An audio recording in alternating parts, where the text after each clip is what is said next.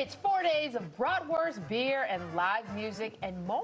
It is the 24th annual Maifest Chicago, heading back to Lincoln Square next month. And here with all the details is Maifest committee member Jerry Glunz. Thank you so much. We keep saying May, My. It is Mayfest. It's Mayfest. May- M- Yes. even though it's M-A-I. Well, that's the German spelling of it, yes. Ah, see, you have to teach us Americans something Yes. here. try, to, try to get it all. Yeah. What is Mayfest? Because it sounds like it's a lot of things, but it's really just about German heritage, Well, correct? it's a celebration of spring. Okay. I mean, first of all, I want to thank you for letting me come on Yes, today and oh, stuff. This is great. But um, it is a celebration of spring. It's a time that everybody's been cooped up all winter long. It's time to get out over in Europe. They're putting up poles all over t- all over the country in Germany and uh, in Austria and stuff. And they put these things up, and it's the, it's not something they put up with a crane. They actually get these boards or th- these big sticks and stand them up. I mean, it's really cool to see. and someone's standing and it there takes in the middle, most of the day. It, Yeah. And holding it while everybody dances around the maypole. Well, we get it. They get it up, put it into place, and then all Oh, the okay. dancing All and right, everything comes all up. right. We have a permanent one that we put up years ago, and that's what kind of sparked this. So let's have a party around it. Why not? They do that in Germany. We'll do it here. Okay. So 24, this marks 24 years and going strong. Yes, yes, it's been some fantastic years all the time. I mean, this is the time of year that it's basically for, for all the kids and all their culture to really get out and show the kids what it's like to dance in front of public and stuff. These kids work so hard during the season, during the off season and stuff, and they get to bring them out. We, we have all these different shows and different parties throughout the year, and they get to come out and dance for that and show it off to everybody.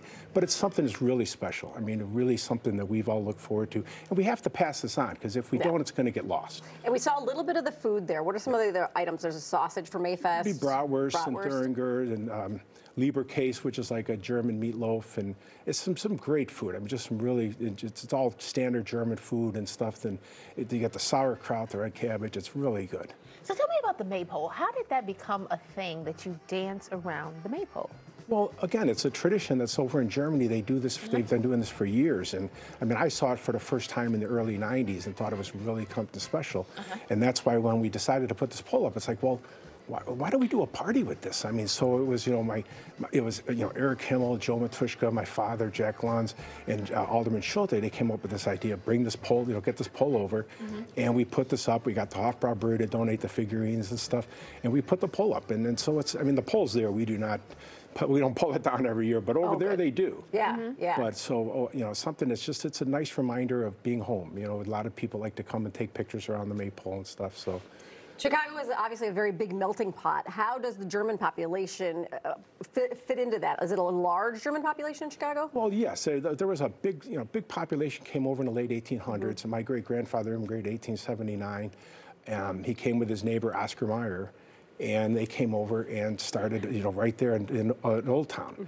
Um, our original wine store is at Wells and Division, the House of Glunz, and it goes and it went down Lincoln Avenue. So the whole that whole strip down Lincoln Avenue was all German restaurants, and all the Germans kind of, you know, everybody kind of settles into their enclave or their, their area around their people. So it's something where that just all grew up and down there and stuff like that. So it's really just a beautiful reminder of, you know, this, this is our history. This is something that we have to really cherish, and we have got to pass this on and show the importance to the younger generation. So oh. beer is something Yes, else that you guys, cheers. yeah, that you bring. What do we say to cheers in German? Prost. Prost. Prost. That's okay. right. Okay. Let's taste. And which is this? very this nice. is good. This is the Hofbrau Original. This is what we'll be serving at the at the fest. Oh, I love Oh, so it's that. only one kind of beer. I would have thought that they were. Well, we're doing we're doing an American beer too, Pabst Blue Ribbon. Okay. Okay. So- Okay. That's fantastic. fun. And then so we also have music. So when Music. people come out, should is it just one day and you get it all in, or you need to be out there you know, it all four starts days? Friday we start, or set, Thursday we start with Rock the Mayfest, a little non-traditional, do some rock and roll, have a good time. And then um, Friday night we do the barrel tapping. We, we have an actual German barrel from the Hofbrau So Brewery. cool. So we tap the barrel and some dignitary will tap that. And then, um, you know, then Saturday and Sunday they do the different, the different bands come out and play. And then Sunday we do the whole day of, of all the clubs doing their thing.